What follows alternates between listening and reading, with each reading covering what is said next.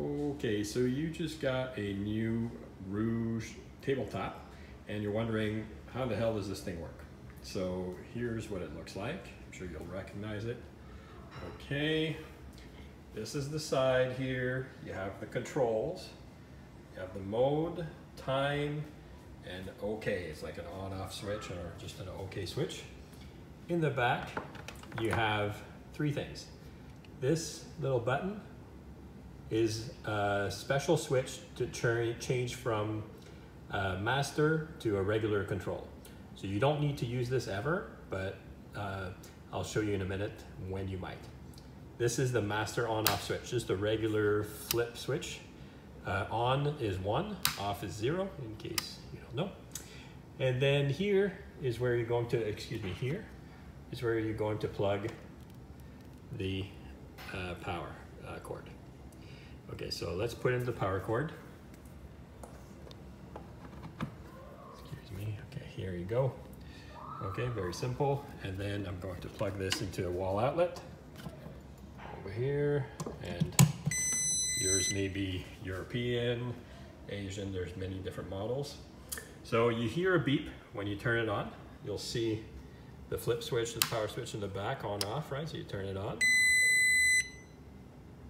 And on the side, it says 20 minutes. And you'll notice there are two red lights, red, infrared, okay? So if you wanted to do just red, usually you want both, okay? For most treatments, whether it's for pain or for your skin, you're gonna want both. But let's say you have an allergy, uh, to your skin reacts poorly to light, for example, and you only want the infrared, uh, you're able to do that. Or if the red bothers you and you're really just looking to get some uh, treatment for your joints or your muscles, what you would do is switch. So the mode, this is red only, this is infrared only. So what happens if it's infrared only, I turn it on, and it feels like nothing's going on. And so if you look at it, you will see that there are about exactly half the lights are turned on. Very dim, you can barely see them, little tiny red dots and that's the near infrared. Okay, these are 850 nanometer. Uh, and then uh, if I want to switch and have both, uh, I would just do this and make sure that they're both on. Press OK again, and then boom. All red. It's not all red, I should say. Red and infrared, they're all lit up. Okay? And if you want only the red, of course, turn it off mode again, red only, turn it on. Okay, so it looks a lot the same as when both are there. So the, it's important to understand the near infrared is uh, mostly invisible to the human eye. Uh, so it's normal that you don't see them. But you'll see, if you look closely, you'll see that they're sort of lit up. Okay, so I'll turn it off. I'll show you how to use the timer. Uh, very simple. Go to time. Each time you press, it'll go up by one minute and it'll do that up to 20 minutes. Okay, at 20 it comes back to 1. The maximum duration is 20 minutes.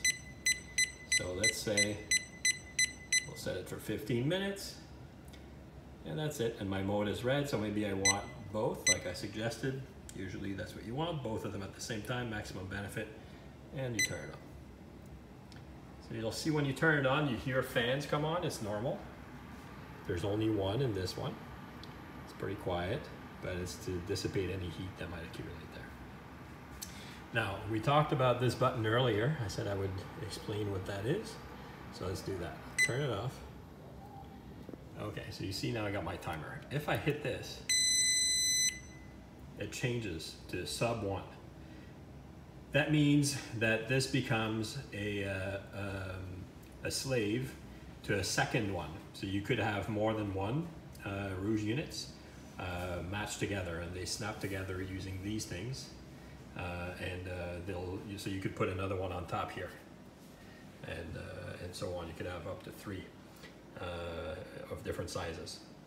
So you probably won't need to use this, but that's just in case um, at some point in time while using it, you see this it's not defective, it's because someone accidentally hit that button in the back or on purpose or whatever, and so you can just hit it again.